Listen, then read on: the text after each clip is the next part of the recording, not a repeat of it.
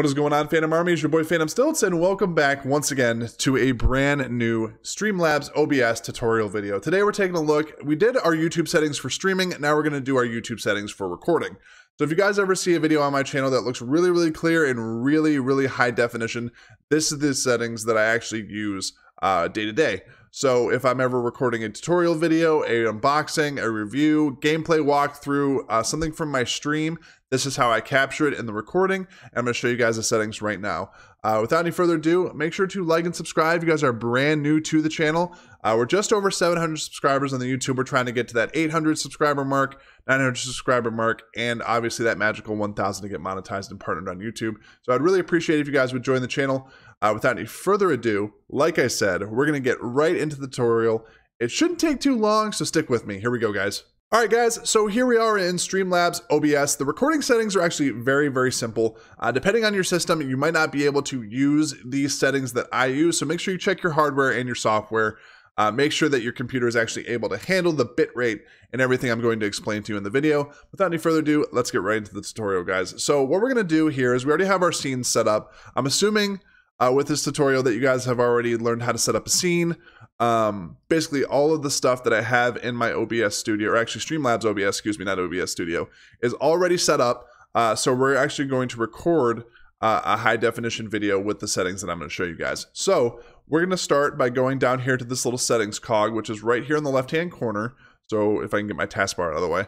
So we're going to go ahead and go to settings here, and we're going to go to the output tab. So the output tab is basically um, everything you're doing, whether it's streaming, recording audio, or replay buffering. Now, the one we're going to focus on today is obviously the uh, recording tab. So I'm going to go ahead and drag this over to the right side of the screen so you guys can see what I'm doing here.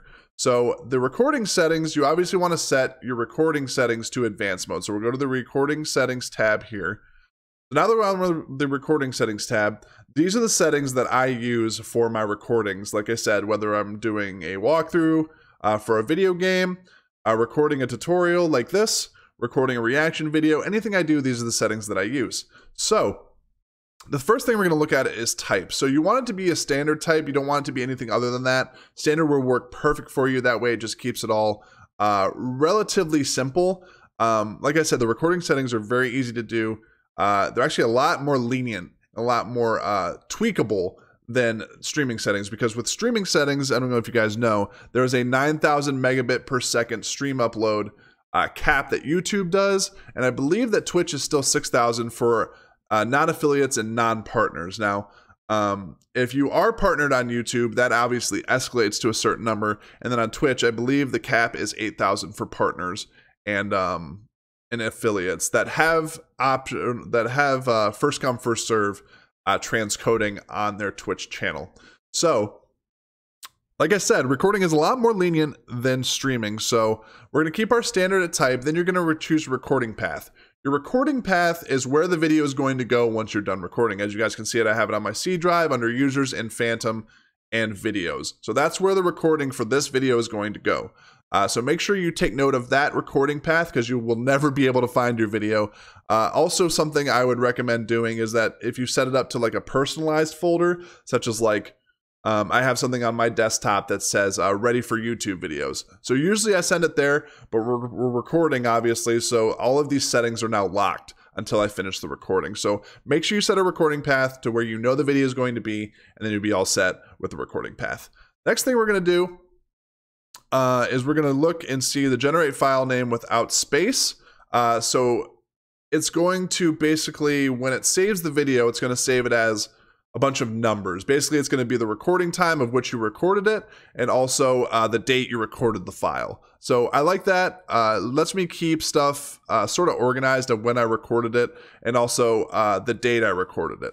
So it's very, very cool. You want to set your recording file to MP4. That's going to give you the the best quality video uh, that you could possibly get. It stands for MPEG-4.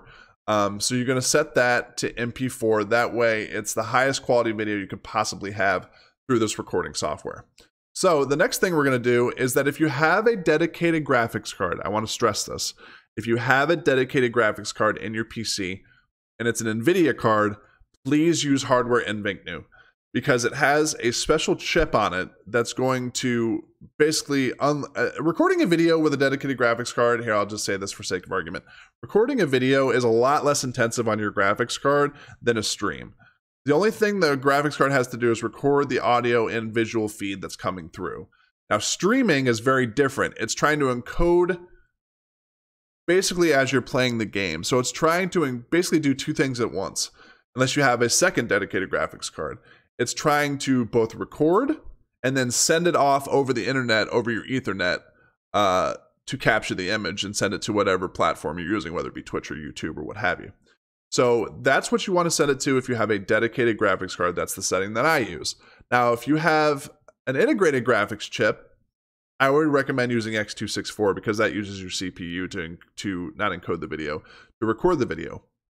So if you have a lower budget PC and not a dedicated graphics card, I would definitely, definitely, definitely use X264. It's going to give you the best quality image that you possibly can get. Now, I have a 1660 Ti in my uh, in my PC, my gaming PC, so that's what I usually use to record because it gives me the best possible picture.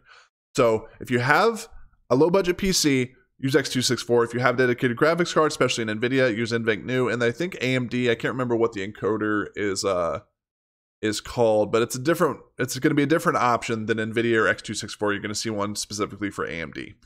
Anyways, so we'll do the custom uh, Muxer settings. That's going to be zero.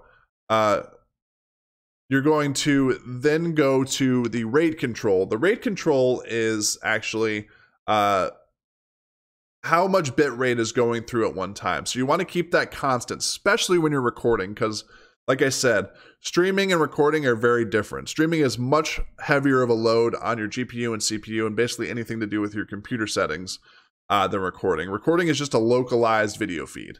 So, anyways, you're going to set that to CBR. That stands for constant bitrate. Now, like again, if you have a lower end PC and you're trying to record videos for YouTube or Twitch, you could possibly use VBR. I wouldn't use anything else than those two options. Uh, CBR obviously stands for constant bit rate, whereas VBR stands for variable bit rate. So variable bit rate basically means that based on what's going on on screen, your computer is going to try to keep uh, a good enough bit rate so the the video is clear enough, but it will fluctuate based on what's going on in your PC. Now, constant bit rate, the difference between VBR and constant bit rate is constant bit rate is going to be uh, the bit rate is going to try to stay at, as you guys can see, I have 30,000. That is very, very high. Like I told you, there's caps for streaming. There is no cap for recording, whether you're recording to YouTube or Twitch. Does not matter. As long as your computer can handle it, you can set that bit rate as high as you possibly can. And that's what I would do because you want the clearest video and audio possible. So keyframe intervals, uh, if you're dealing with keyframe intervals, basically what it does is it's how much of the frame is being sent. Uh, so if you have a keyframe interval at zero, uh, you don't really have to worry about it with recording. Now, streaming is a little bit different. Uh, streaming, when you're using a keyframe interval, it's the entire frame is set instead of just differences of the frame. Um, so having a keyframe keyframe interval as two means that it takes at most two seconds for the video to catch up to where the viewer wants to see. They don't have to worry about that recording because I told you the recording is just a localized recording over your PC.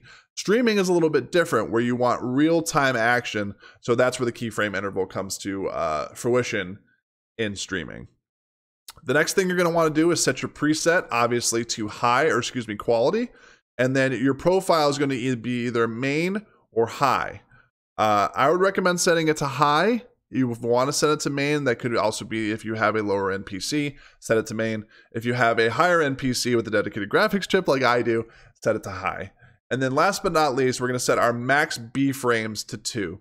So pretty much, guys, that is how you set up a high definition, really, really crisp looking recording uh, for your YouTube or Twitch uh, videos. So I hope this helps you guys. Make sure to like and subscribe. Like I said, if you guys are brand new to the channel, I would really appreciate that. We're right at 700 subscribers, just a little bit over 700 subscribers.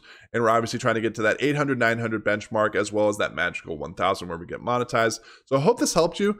Uh, make sure to like and subscribe, like I said. But without any further ado, this is your boy Phantom Stiltz. Thank you guys so much for watching the video. I really appreciate it again. And as always, I will see you guys on the next video. Take care, guys.